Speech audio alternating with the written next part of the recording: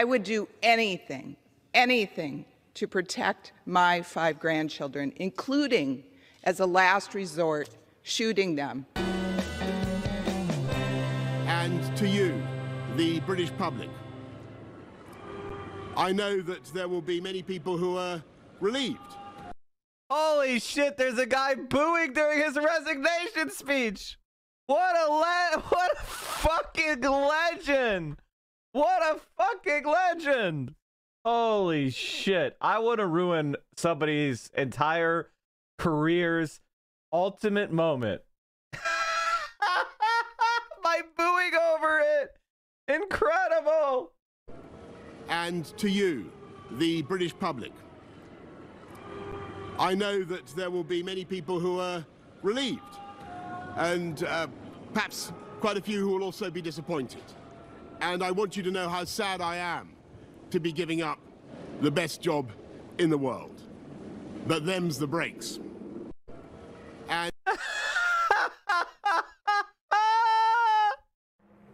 So he's gone. He's fucked off then. He's resigned. Okay, so he's resigned, but he hasn't fucked off. Okay. Fucking, I mean, what do we have to do? Wait, wait for another few months whilst he takes the wallpaper down? I'm loving this. What an exit. The, the Prime Minister forgot that his whip was a sexual predator. No answer to that one. No answer, no humility, no meaningful apology. For days, just more Dickensian twaddle and a little reshuffle. Not so much reshuffling deck chairs on the Titanic, more reshuffling cat shit on a litter tray. And the manner of his departure should tell you everything you need to know. No dignity, just desperation and delusion and a despotic disposal to cling to power, no matter the harm to our country. A Tory party facing the inevitable truth that they have been complicit in enabling one of the most dangerously incompetent and untrustworthy, selfish individuals ever to have occupied number 10 for as long as they have. And what's beautiful is it was the lying that got him in the end.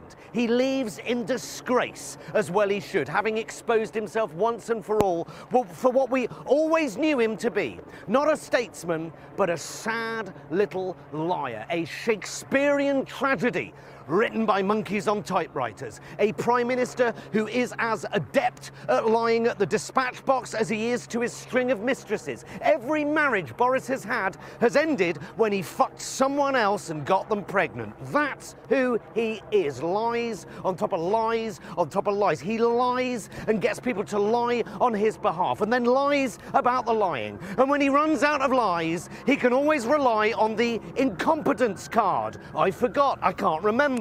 I don't understand what the word party means. My willy just ended up inside my secretary. Oh, I forgot that he's a renowned sex pest. Essentially, a man who would rather pretend to be stupid than admit his mistakes, which of course makes him a coward a desperate, sad, talentless flag shagger who is so blatant in his dishonesty that when accused of lying to Parliament, he simply tries to change the rules to make it okay to lie to Parliament. Who, when his own ethics advisors resign in disgust at his complete lack of ethics, scraps the role of ethics advisor altogether, which proves his complete lack of ethics. But the devastating cries over the last few days from the Tory party of enough is enough and one step too far are coming from the same people who have sat and watched him take a flamethrower to their party and our constitution for three fucking years. Fuck up after fuck up, lie after lie.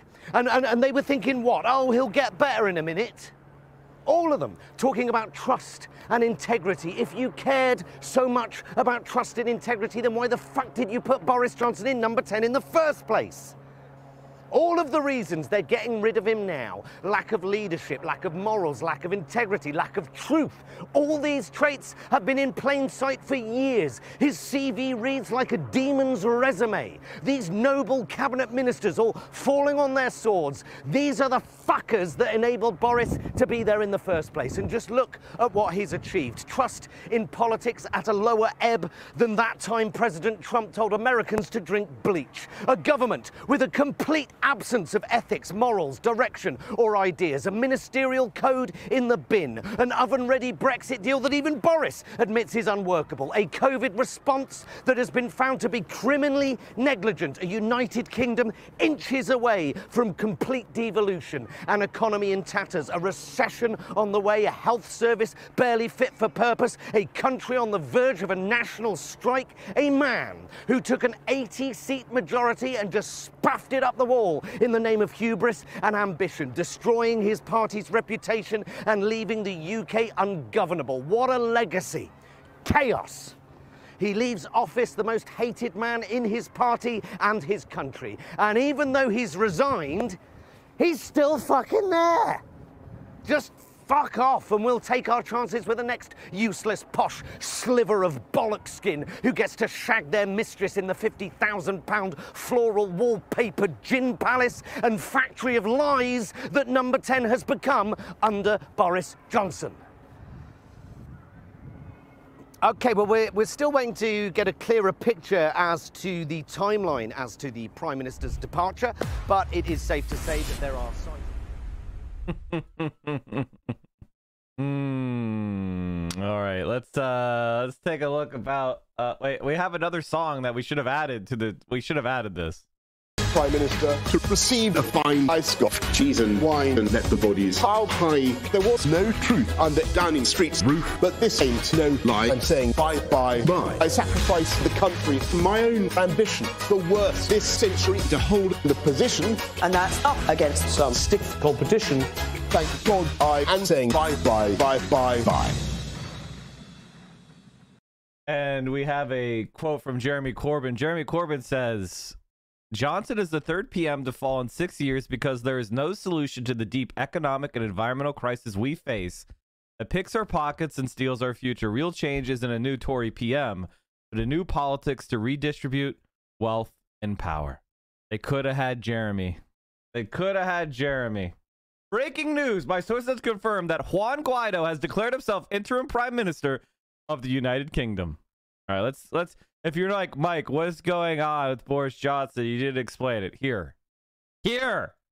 There are days for adjectives and there are days for cold facts. The Prime Minister gets up. He's going nowhere. He sends his newly appointed Chancellor, Nadhim Zahawi, to do the morning round of broadcast interviews. At 8.11, Laura Trott from the Department of Transport resigns. Mr. Zahawi keeps talking.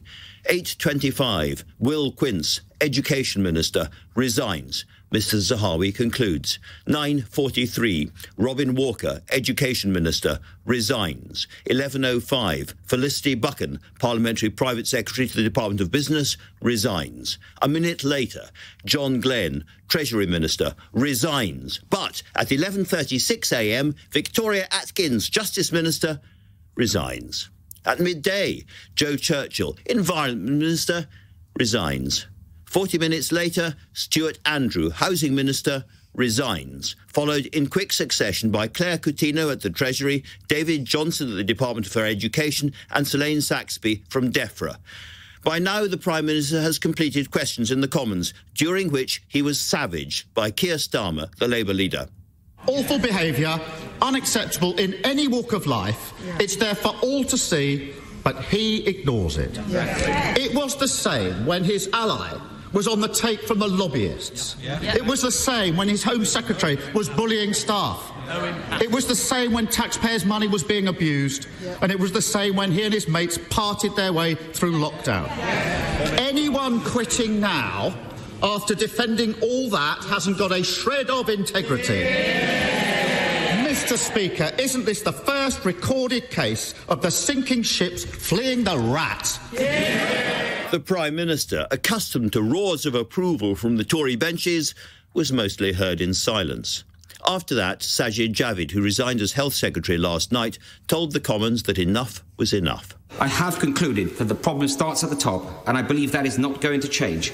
And that means that it is for those of us in a position who have responsibility to make that change. Michael Gove, the Levelling Up Secretary, then writes to the Prime Minister withdrawing his support. Controversially, he does not resign. At 224, Kemi Badenoch, Equalities Minister, Alex Burghart, Education Minister, Julia Lopez, Minister of the Department for Culture, Neil O'Brien, Minister of the Department for Levelling Up, and Lee Rowley, Minister for Industry, resigned. Department for Leveling Two Up. minutes later, Mims Davies, Employment Minister of the Department for Work and Pension, resigns. In the course of the afternoon, as Tory MPs discuss changing their internal rules so they can remove Boris Johnson later this month, another six ministers resign. Yet another prime minister. Yet another conservative prime minister. Jesus Christ. Imagine if Joe Biden and Nancy Pelosi resigned after they fucked something up. A couple of things. Firstly, we need to make sure that we keep the basic functions of government going. Uh, that's really important. There are, for example, uh, no ministers in DFE at the moment. That needs to be sorted out. Uh, secondly, I think we need to try and select a new leader as quickly as we reasonably can. I And obviously, uh, we need to make sure we make, make the correct choice, uh, but we should do it in a reasonably quick time. In terms of Boris staying on, the convention is that the outgoing Prime Minister um, does carry on. Uh, that's what happened when uh, Theresa May left office, is what happened when David Cameron left office. And, you know, given that, as we just Incredible. Incredible. Uh, well, we're gonna have to see who's uh who they're gonna line up behind in the UK. It's gonna be another disaster. There's really no good political outcome there. You got the male equivalent of Hillary Clinton versus whoever conservative ghoul they prop up next. There's really no there's really no good outcome in the in the UK. Sorry. Sorry. Sorry. Uh Bernie Boris Johnson is being compared to Bernie on Fox. And quite frankly, I think that this is um, conservatives stepping up and trying to reclaim uh, what is conservatism, because Boris Johnson has been anything but. He uh, one of his biggest moves was a uh, two and a half percentage point increase in the payroll tax to fund the National Health Service. A, he adopted a Labor Party proposal. That's the the Liberal Party in Britain. A windfall profits tax on energy companies. There's a plan to increase corporate taxes. That's not conservative. That is to paraphrase the Wall Street Journal's editorial board, that's straight out of Bernie Sanders' playbook. And quite frankly, it kind of tells you where we are as a party is that the Democrats are in power. They won't even sniff at a windfall profits tax, but the conservatives and the UK are doing it. That's how far right America is. Am I going to be discussing the housing market crash? Yeah, I will be.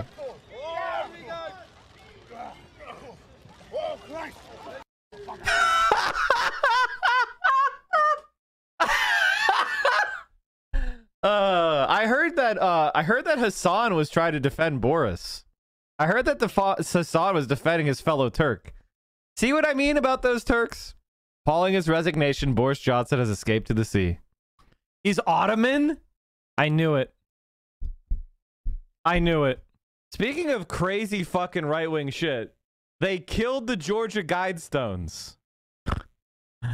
Uh, honestly, I, I know it was a right winger who did it, but still, it's pretty funny. Marjorie Taylor Greene talking about the Guidestones. Oh, yeah, we should talk more about the Guidestones. Being blown sky high. Well, Alex, one thing I always appreciate about you is you bring up the issues that a lot of regular, normal people talk about. And the Georgia Guidestones uh, have always been something that people have been confused over, people have talked about, people have researched, people have traveled from far distances to come see these things. I'm not a particular fan of them because I'm, uh, as, as you know, like you, completely against the globalist agenda and against population control. Uh, I just heard the news uh, probably about two hours ago about about these things being blown apart, and I think it just shows where we are today. There's really a war of good and evil going on, and people are done with globalism. People are not going to go along with the new world order, the liberal world order, as as the Democrats call it and and what's happening today. So I think it's really interesting and looking forward to hearing more information. First of all, the Georgia Guidestones were written by a far righter who probably would vote for Marjorie Taylor Greene.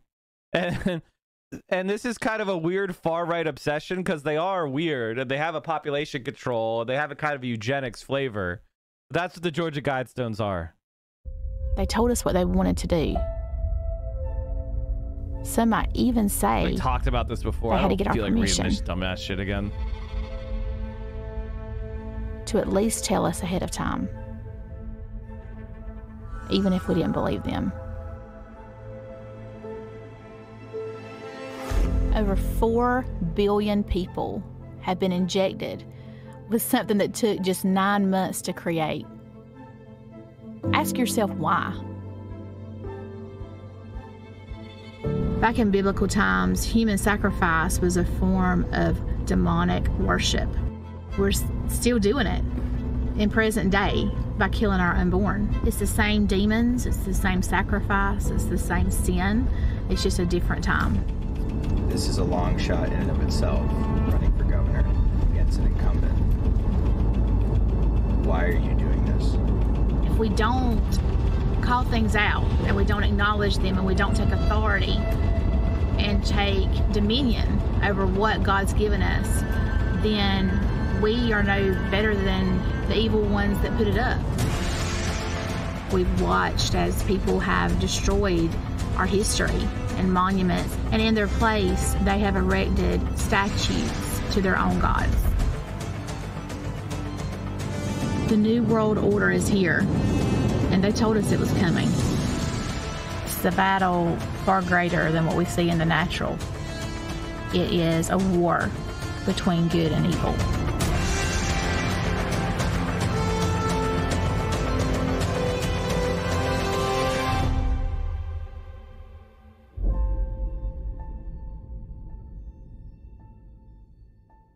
I mean, you can laugh at this and you should laugh at this, but understand that this is the same kind of fascist occultism that the Nazis had.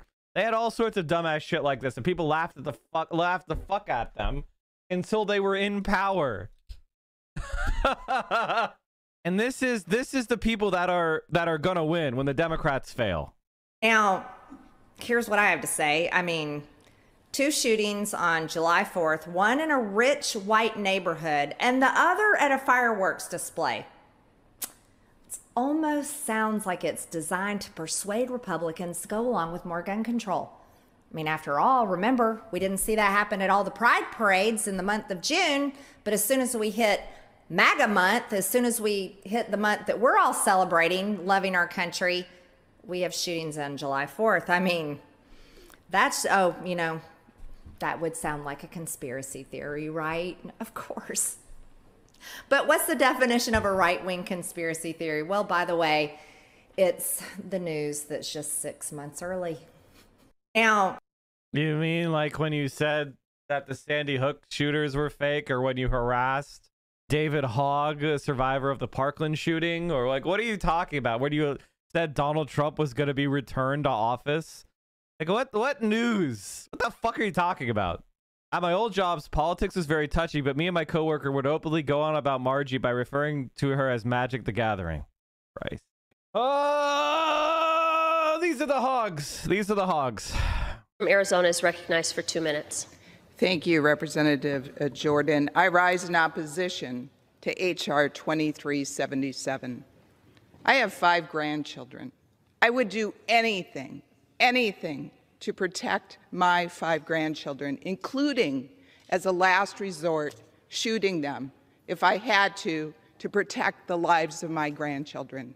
Democrat bills that we've heard this week want to take away my right, my right to protect my grandchildren. They want to take away the rights of law abiding citizens to protect their own children and grandchildren and wives and brothers and sisters. This bill takes away due process from law abiding citizens. Can you imagine if you had a disgruntled ex or somebody who hates you because of your political views and they go to a judge and say, oh, this person is dangerous? And that judge would take away your guns, lean on the side of conservatism, take away the guns, without that person even having a, a knowledge that there was a court hearing that would take away their guns. This is wrong. When Republicans were in the majority, we actually passed legislation that was signed into law that would have prevented mass shootings. These bills would not. We need to join together, Republicans and Democrats. I hope they can do it in the Senate and get something done that actually saves children's lives. And with that, I yield back. So shit, the ins- batshit crazy Republican Congresswoman said I would shoot my own grandchildren. Uh, you should probably not have a gun if you say stuff like that. All right, chat. Let's just enjoy more hogwatch. Housing market is beginning to crash, and we'll do some fresh hogwatch. This is this is some this is some happy content for me. Both of these things are positive. the Snorri Mason. You know that saying where when you're a hammer, everything's a nail? Well, you could also say it by by playing this clip of Jordan Peterson.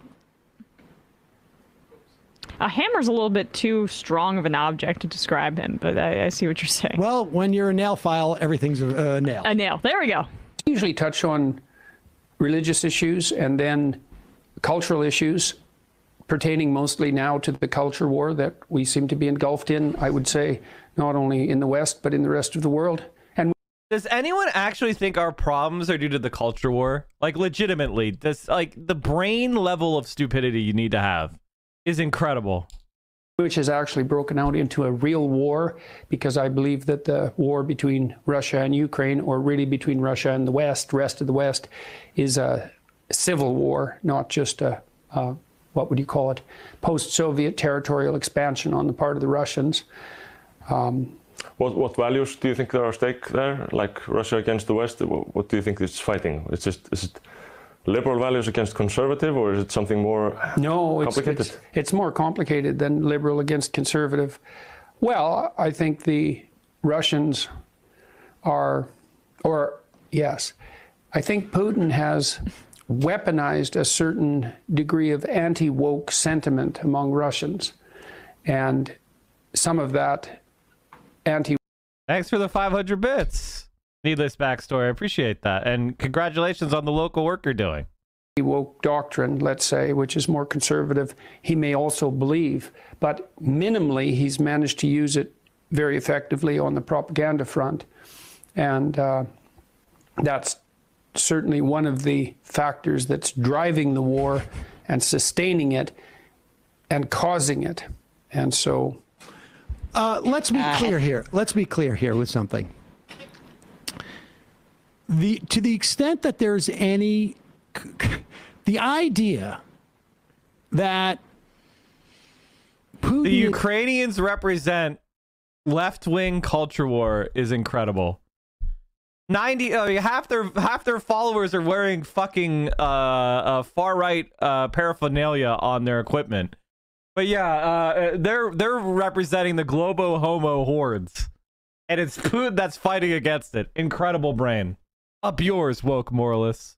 is selling his invasion of Ukraine to Russians based upon the Ukrainians being too woke is insanity. It's directly opposite the truth. he is like to the extent that there's any they- they're saying to the extent that they're saying anything that could be construed as cultural in any way, it is denazification. It's like literally 180 degrees from what this guy is saying, but he is so obsessed with his raging culture war that exists in his head. which is the only reason anybody knows who why, who he is and why he exists. And incidentally, the thing that he quit uh, being a professor about because he couldn't mispronoun people without going to jail, that was a law that was passed five years ago in Canada, which not only did not say that, but can be shown because no one has gone to jail yeah. in five years. Now, maybe everybody else just can handle using the right pronouns. But this dude has been all over Twitter, and he got uh, booted because of it, because he would dead name Elliot Page. Where's he been with Caitlyn Jenner? Odd. Odd, isn't it? He needs to go to jail. He just needs to go to horny jail. It's just, it is, it is just like we, we just let a madman run around. Just, you know, and I'm not saying that you shouldn't uh, let him run around. Let him run around. But it's it's amazing the people who are making money off of pretending he's not out of his freaking mind. Yeah, and also didn't Putin say something about how the West was trying to quote cancel Russia? Like he was appropriating some of the culture war concepts that Peterson is describing, like the anti wokeness, but he's trying to say that it's not liberal versus conservative or left versus right. No, that's exactly what it is. It's too complicated. It's not liberal conservative. It's woke unwoke. That's it. It's much more complicated. It- The it's just a way for his audience to feel like they are not a standard Republican because they're obsessed with these culture war topics. And, like, yes, Putin, a right wing president, is using right wing talking points to justify his invasion of Ukraine. Yes. Those sons of femboys in Ukraine. J- Jordan Peterson was asked by Penguin Random House to uh, write the foreword for uh, Gulag Archipelago by Alexander Solzhenitsyn. That's Is that, that- guy. Is that true? That is 100% true. Totally went over my head. What? Uh, Gulag Archip- Archipelago is a, a sort of famous uh, book about gulags in Soviet Russia, and they got Peterson to write the foreword for it as like That's actually true. that's actually true. He was a man. He was a man, and he would make his bed every morning, despite the fact that he was sent to Siberia. Make his bed. First thing. The cleanest room in all the Gulag, gulag. Gulag Archipelago sucks, by the way. Anyway, The uh, deprivation, the torture. But he always made his bed. So, there you go. I'm taking no questions. Are you watching the stream unsubbed? You're making income inequality worse. You are doing anti praxis. We are the only Twitch stream that will not accept scam advertisers, and I will never fuck you over by selling you crap